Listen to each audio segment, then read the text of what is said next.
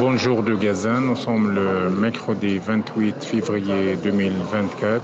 J'aimerais bien euh, préciser et parler un peu des aides humanitaires euh, que soi-disant la propagande israélienne disent qu'ils sont en train d'arriver dans le nord euh, de la bande de Gaza et dans la ville de Gaza pour 400 000 personnes. Ils sont en train de mourir de faim parce que depuis presque trois mois, il n'y a pas d'aide, il n'y a pas de camion qui arrive. Euh, quelquefois, depuis trois jours, il y a quelques camions arrivent, mais avant son arrivée, l'armée d'occupation tire sur ces, camions, sur, ces, sur, la foule qui attendent. Euh, souvent, il y a 50 à 60 000 personnes des gens affamés, c'est la réalité. Tout le monde il souffre de manque de nourriture parce qu'il n'y a rien après cinq mois de cette agression.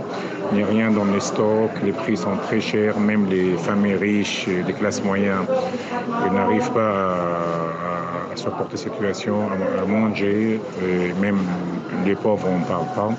Ils sont en train de mourir de faim. Donc il y a de 50 à 60 000 personnes qui attendent euh, au nord euh, sur la plage, la route de la plage de la ville de Gaza. Et quand les camions arrivent euh, au sud, avant la délivrance, avant que les gens récupèrent les aides, souvent des sacs de farine, l'armée d'occupation tire sur la foule et souvent il y a des morts, il y a des blessés. Donc c'est terrible. Donc c'est un numéro un. La quantité, souvent, il y a entre 3 et 5 camions, donc euh, une petite quantité qui entre. Et quand l'armée tire, la foule euh, se disperse, donc il reste personne. Et souvent, soit les aides restent, soit les camions reviennent au sud sans que la population de Gaza récupère. Euh, franchement, d'une façon objective, il y a quelques camions qui sont passés, mais avec beaucoup de difficultés, avec le prix de sang de ces Palestiniens affamés. Euh, si vraiment euh, la communauté internationale et Israël veulent entrer, euh, faire entrer les aides, la population du Nord, ils ont besoin de 500 camions, pas 3 ou 4, 500 camions avec des aides humanitaires. Après, il y a l'histoire des avions euh, français, jordaniens, égyptiens qu'ils ont, qu'ils ont tiré, ils ont lancé des aides depuis l'air.